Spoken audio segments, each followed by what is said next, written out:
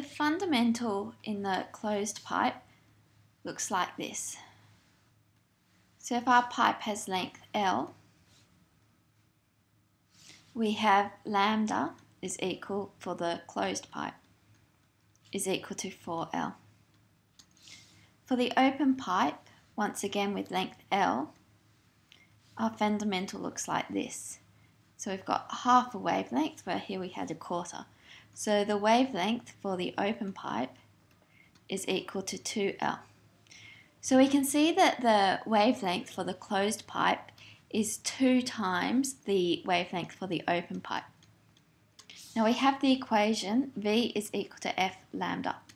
V is the speed of sound in air, and so that's not changing, that's constant for these two situations.